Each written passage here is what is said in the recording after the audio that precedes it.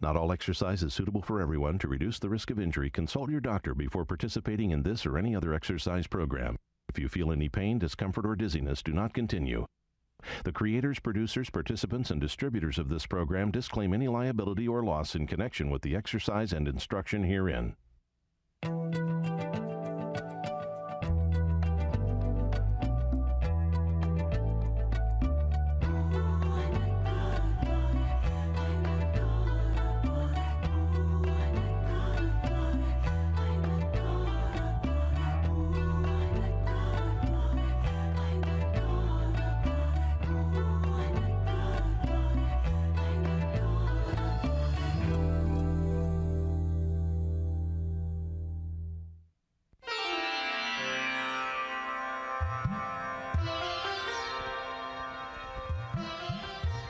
Welcome to Power Yoga Mind and Body. My name's Adrienne Reed. Our theme for today hips. We're going to start standing up. You're all already there. When you're ready, just go ahead and stand nice and flat on your feet. We're going to inhale, bring your shoulders up, and exhale, roll them back and down just to get a nice strong stance. We're going to float right into Vrikshasana, tree. So when you're ready, you can either cross your right heel in front of your left ankle, bring your right heel above your left knee, or you can draw your heel all the way up into your groin. If you're up in that higher position, I want you to have your heel further forward than your toes. So see if you can float your foot, your toes a little far toward the back. We're a little open toward the back. Open through the hips, hands drop to prayer. We're going to go five good breaths there.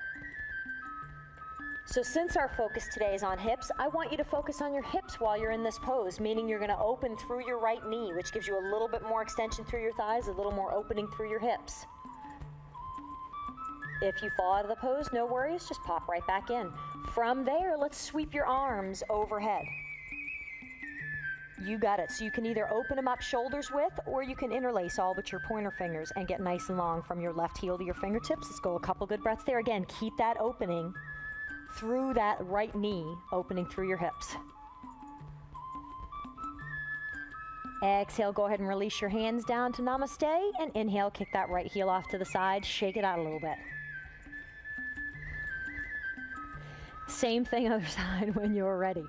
We're to cross left ankle in front of your right. You're to bring your left heel over your right knee, or you're going to draw that heel all the way up into your groin. Again, if you do that, have your heel further forward than your toes. So your toes are floating toward the wall behind. Hands drop to namaste. Open through that left knee. Let's go five good breaths in center again here. Beautiful, everybody. If you find a focal point, something to look at, and fix your gaze, it really does help with your balance. Nice calm breath. And then after your fifth breath here, let's inhale, sweep your arms up overhead and get a little more extension in that pose. Don't lose the attention on your hips, so really keep that left knee floating open. You can interlace your hands up overhead if that feels good for you too. We're going two more breaths there, looking good. Beautiful. After your second breath, float your hands down to namaste. Kick that left heel out to the side. Shake it out a little bit. I almost walked right into your leg. Beautiful. Let's do a little bit of work with Dancer, Natarajasana, and we're going to float into this nice and easy. It's early in class. So we're going to drop your left hand in front, palm down, eh, downward. It's at shoulder's height. You're going to reach back and grab your right ankle with your right hand. When you're ready, you're going to drive that right heel up and toward the wall behind you and extend forward with your left hand. Again, focus today is hips, so try and work on squaring through your hips. You may notice the location of your shoulders changes that a little bit. So if you float forward with your right shoulder and back with your left shoulder, that helps to square those hips a little more. We're gonna go two more breaths here. Nice job. Exhale, come on up, release, shake that out a little bit. These guys on the set said, don't hold the balancing poses long, but I'm holding them anyway, guys. Same thing on the other side. When you're ready, reach back, grab your left ankle with your left hand. Right hand comes forward, palm downward at shoulder's height. Sweep your left heel, push it up toward the ceiling and back toward the wall behind you. A nice easy one. We don't have to push too hard. It's early in class. Extend far forward with your right hand. Again, square through the hips and let that come a little bit through the shoulders. So come forward with your left shoulder and back with your right shoulder. Beautiful. Give me two more breaths there. I'm sorry if I'm working, walking in anybody's fo focal point here. Exhale, go ahead and release. Shake that out a little bit. Aaron, you popped out of that quickly like, oh, thank goodness. We're going to drop right back into a runner's lunge. So when you're ready, take a big step back with your left foot. Right leg is forward, and we're going to drop down to your left knee. All right, so lay your left toes flat. We're going to sink your hips down into the mat. Make sure your right knee is over your right ankle. And let's go a couple good breaths there. So relax through the torso and just sink those hips down into the mat. Head and neck is relaxed. Diane, you may want to step a little further forward. See how your knee's going past your ankle? That's the way. Let's bring a little more work to the hips here. We're going to float both hands to the outside of your right foot. So I want you specifically to try and get your left elbow on the outside of your right foot. If you can, both hands sweep to the side. You can even look toward the wall behind and sink downward with your hips. You should feel a nice stretch and nice release through this area. Everybody feeling that stretch? Let's go two more breaths there. Keep your focus on your hips. Nice long full inhales, nice long deep exhales where you, where you let your hips sink a little further down. Wonderful. Exhale, float back to center. I want you to bring both hands now on the inside of your right foot. If you can, drop down to your elbows. If you can, from there, face drops down to the mat as well. Let's go a couple deep breaths there. Once again, leave your hips sinking downward toward the mat. Relax your head and neck. You're trying to get depth through that pose. One more deep breath there. Looking good, everybody.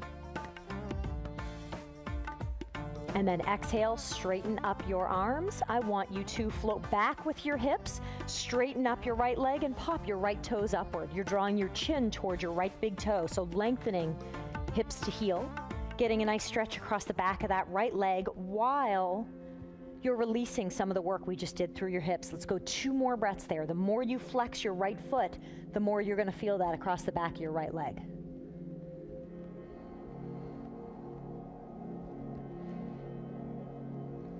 Wonderful. Exhale. Come on up. We're going to swap that up. So tuck your left toes under, straighten up your left leg. We're going to go back with your right leg, and we're going to swing forward with your left leg. So raised runners on the other side to start. When you're ready, drop that right knee down to the mat, lay your right toes flat. Once again, make sure you make that adjustment so your knee is right on top of your ankle. Don't let your knee extend past your ankle. And we're just going to drop your torso to your left thigh. So relax through your upper body, sink your hips down into the mat. So let your focus fall on stretching through the hips. We're going three more breaths there. If you don't feel too much of a stretch, walk forward with your front foot or back with your back leg, and you'll notice that will open you a little bit wider there.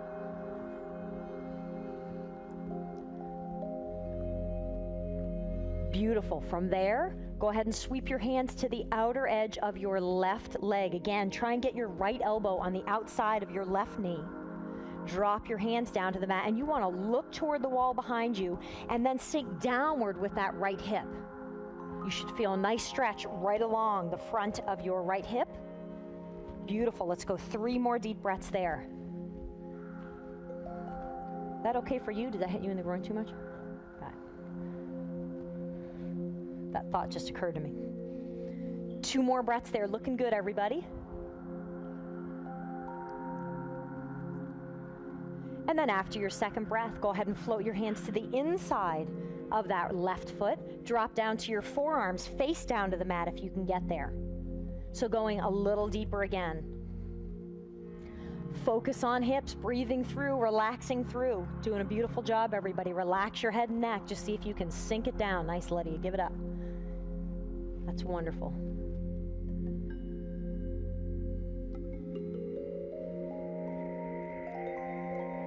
Wonderful. When you're ready, straighten up your arms. Let's float back with your hips, straighten up your left leg. So get a little bit of a stretch across the back of that left leg while releasing the work we just did in our hips. Couple good breaths there. The more you flex that left foot, the more you're going to feel that across the back of your left leg. Don't let that focus be too much there as much as it is about releasing through the hips.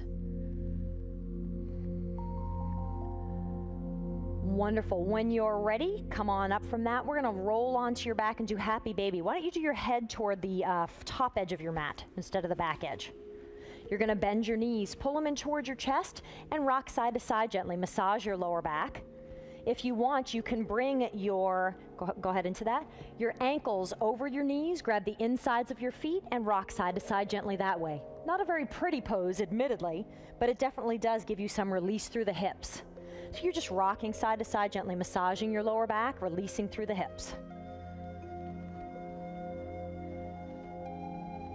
Nice job. When you're ready, go ahead and release out of that. We're going to roll back over onto your stomach, head toward the top edge of your mat still, guys. We're going to float up into a plank position. And if plank is too much for you, I want you to come to bent arms, so elbows instead. So you choose what feels good for you. We're going to throw a nice hip stretch in here when you're ready. Right foot comes as far forward as possible. So we're going five breaths here. Sweep your foot as far forward as you can. Beautiful, everybody. The further forward you bring your foot, the more work you're adding to your hips, your hip flexors, your abs, your arms. I always say if this is hard, breathe fast, be done with it. When you guys are at your five breaths, some of you may already be there, drop your foot behind, lay down flat on your stomach, relax for a breath or two. So I love that stretch. Works upper body, works abs, and works hips all at the same time. And I always look for those stretches where you can maximize and work multiple muscles or muscle groups at the same time. Fabulous. We do that a lot in class at the studio. When you guys are ready, come on back up, either plank or onto your elbows, whichever feels better for you. When you're ready, left foot comes as far forward as you possibly can. If you can sweep that those toes right up by your shoulder, I say go for it. Tickle yourself in the ear there. nice job. That's tough through the arms, tough through the abs. Looking good, Diane. Try and keep those hips down so you're more in plank. Yes. After your five breaths here, sweep your leg behind, lower down onto your stomach, relax a couple of breaths. Beautiful. Try and let your hips relax there. Shake that out a little bit when you need to. When you guys are ready, we're going to roll over onto your backs. Keep your head toward the top edge of your mat if you don't mind. If you want, you can go to happy baby once again. So you can bend your knees in toward your chest. You can grab the sides of your feet and rock side to side, gently massage your lower back and get a little bit of a release through the hips. You guys are all so quiet. Maybe we need to do that last one again, yeah? no. Go ahead and lay your legs down flat on the mat. We're going to float right to a Supta Baddha Konasana, so laying down in butterfly. So you're going to bring the bottoms of your feet together and just comfortably so. You're going to pull your heels in toward your body. And if you want, you can let your hands rest on the insides of your knees. This is really nice through the groin, really good for your hip flexors. If it is too much for you, you can roll up blankets and place it underneath your knees, and that helps support your legs a little bit more. Beautiful, nice and relaxed. And let's go a couple more deep breaths there letting your legs relax. Try and avoid the urge, or resist, I should say, the urge for your groin muscles to tighten up. Just let them relax and relent and give in. From there, sweep your hands to the outer edges of your knees. I want you to use the strength of your arms and bring your legs back together. Straighten your legs up. You're going to draw your arms overhead. I want you to use the strength of your arms and abs. Come on up to a seated position. You guys notice I throw that in whenever I can. We're going to spin around. So you're going to face the front edge of your mat. We're going to float into a seated butterfly. So bring the bottoms of your feet together. I want that to be a nice wide angle butterfly. So draw the bottoms of your feet together and then bring your feet as far forward as you can while still keeping the bottoms of them together. We're going to inhale, sweep up, get nice and tall, sit bones to fingertips. Exhale, fall forward slowly. So you're just extending your hands as far forward as you can get them. Take your time. When you can go no further forward, drop your hands down to the mat. I want you to draw your chin towards your big toe. So notice the difference that makes in your stretch. You should feel that actively through your groin, actively through your hip flexors. Three more deep breaths there. Looking good, everybody. Doing great. See if every inhale you can lengthen through your spine, and every exhale you can deepen into that stretch.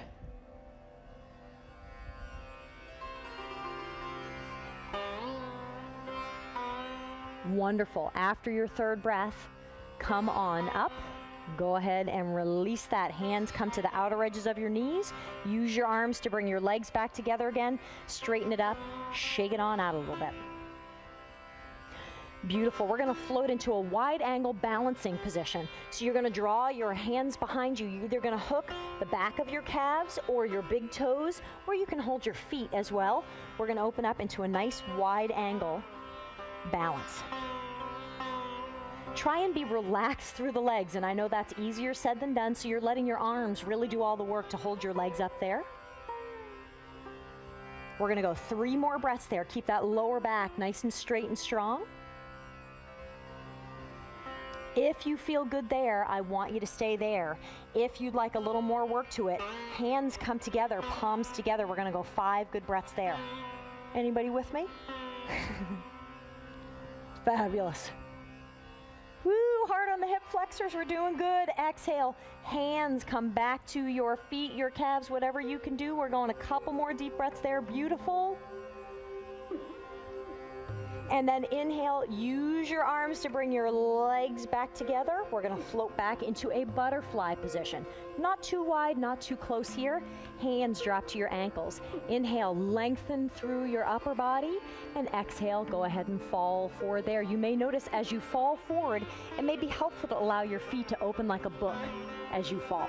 That brings your knees a little lower down. If you wanna flare your elbows out, and draw your legs down with your elbows. Feel free to do that as well. Let's go five more deep breaths there. Beautiful, everybody.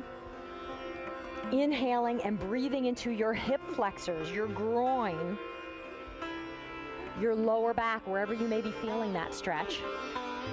And exhaling, letting that area relax and release. Nice job. From there, go ahead and draw your torso upward. Bring your hands to the outer edges of your knees. Draw your legs together, straighten them up. Shake that out a little bit. Nice job, everybody. We're going to roll on over to Happy Baby again. So head toward the top edge of your mat. Knees in towards your chest, rocking side to side, or dropping to Happy Baby. And releasing your hips that way, rocking gently side to side. Looking good. Keep that breath nice and relaxed. And then when you're ready, go ahead and release your feet flat on the floor so legs are straight, arms come overhead. When you're ready, use the strength of your arms and abs. You know I was going to say it. Come on up to a seated position. And we're going to turn around and face toward the front edge of your mat. We're going to do a little bit of work with pigeon. We're going to try and get that pigeon into a really nice deep pigeon. So we're going to go into it in a very slow, methodical way. So let's go right leg forward, left leg behind. Float right into a pigeon Kapotasana for me. Start with your right heel right towards your left hip. Your hips should be square toward the front edge of your mat. Your back leg, back foot nice and straight. Inhale, look up, take a nice arch back, upper body only. And then exhale, go ahead and walk forward. I want you to find a, an arm position that you really can relax in here. So hands are either down by your, your sides, you can float your arms into a folded position and drop your forehead there, or you can lengthen nice and long and leave your arms forward. Utilize your breath here. Allow everything to just sink down into the mat. This should be a nice passive stretch. So nothing should be working here. Everything should be completely relaxed, completely draping, sinking more deeply into the mat with every single exhale. We're going to go one more breath in this position. And then exhale, go ahead and draw your torso upward. Let's get a little bit more deep in this pose. So when you're ready, shift your weight to your right hand side. And we're gonna come a little further forward with your right heel. Not too much, you'll know why in a moment if you've not done this before. Re-square your hips toward the front edge of your mat. You may notice it already. Hands drop down by your waist. Inhale, look up, give a nice arch back, upper only. And exhale, go ahead and walk forward there fall to that same hand position that was the hand position of comfort for you last time. So allow your body to find the same level of relaxation, even though that pose may be a little more intense for you today. A nice passive, relaxed, calm stretch where you're utilizing every single exhale to allow you to sink a little further down. We're going to go two more breaths on that side.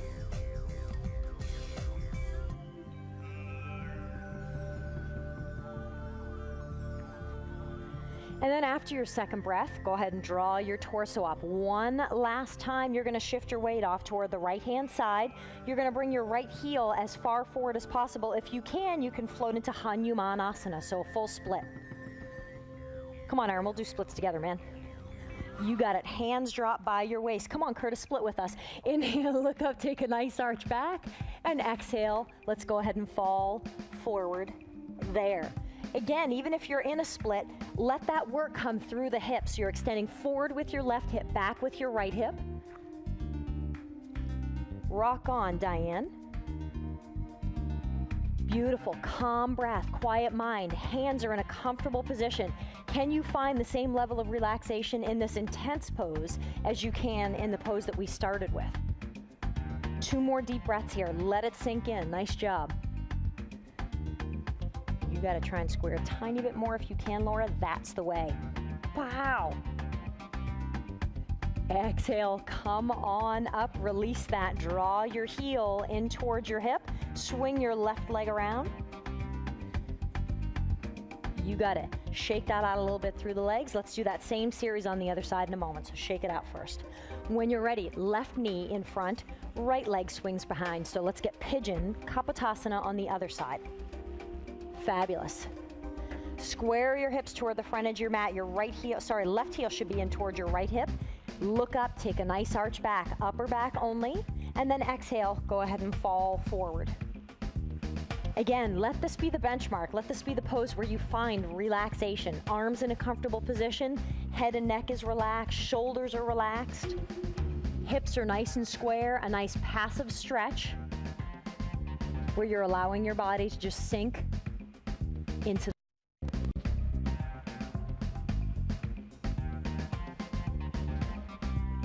One more deep breath there, looking good.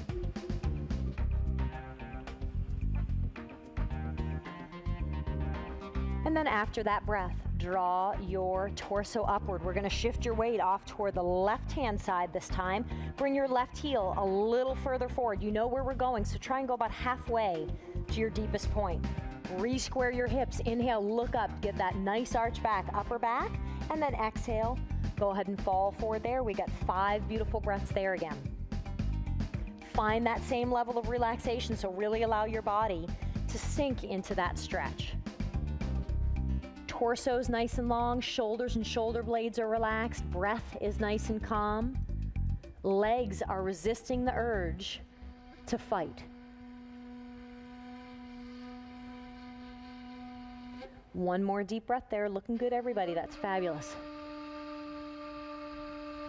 And then exhale, go ahead and sweep your torso up. Last position, shift your weight off toward the left hand side.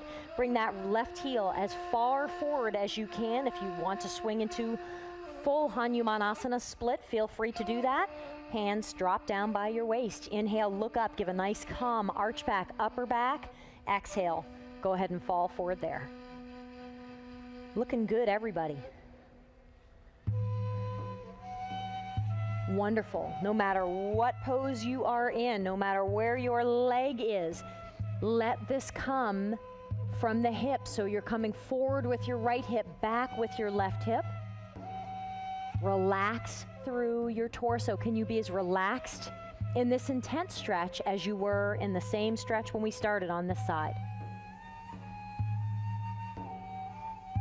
One more deep breath there. You guys are all looking wonderful. And then after that one breath, slowly draw your torso upward, swing your right leg in front, release that, shake it out a little bit. Let's do one more happy baby here. So go ahead and lay down flat on your back. Head can be toward the top edge of your mat or the back edge. I suppose it doesn't matter, guys. When you're ready, happy baby. Just for a moment or two, just get that last final hip release. Rocking side to side gently. The more you pull your knees down toward the mat, the more release you're going to get. Wonderful. When you're ready, release your legs. We're going to spin around. So come on up to a seated position, guys, and spin around for me. Head toward the back edge of your mat. Believe it or not, we are done. Let's get ready for Shavasana.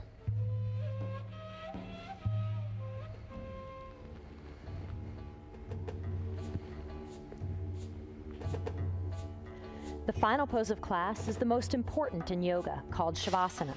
This pose is what you've worked the entire class to achieve an exploration of stillness in action.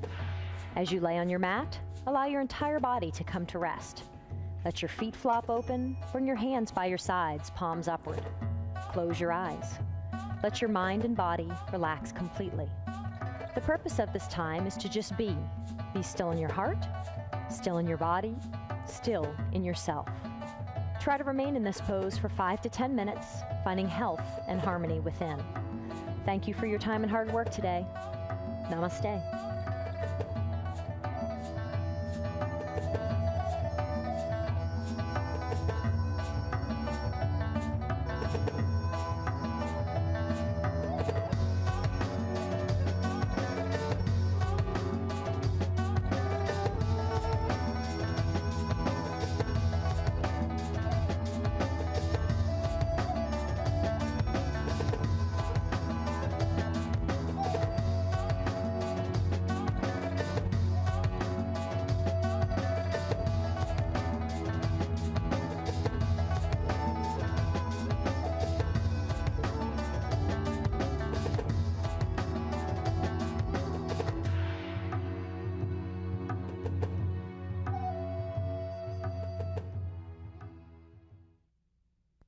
If you'd like to continue to improve your strength, stamina, flexibility, and balance, order Power Yoga for Athletes. This hour long video is for yogis who embrace a more active lifestyle. Call 1 866 629 1591 or visit AdrianReed.com.